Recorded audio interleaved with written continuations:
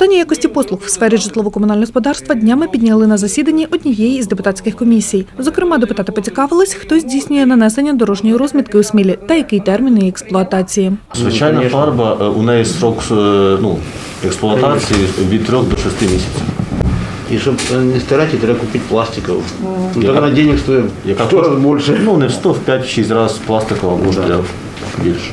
Ну, а термін її Від 5 років. В цьому році пластиковою фарбою нанесена дорожня розмітка в місті Сміла по вулиці Чорного Вола, пішохідні переходи.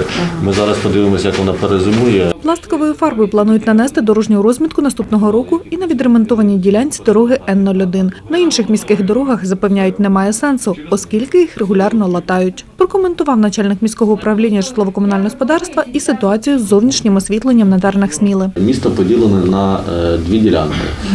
Е, Головні вулиці міста і другорядні. Головні вулиці міста працювали, як і працюють е, згідно попереднього графіка, а другорядні е, працюють до 12 години ночі, виключаються і в 4 ранку включаються. Так, а ввечері, коли включається, вони потрібно?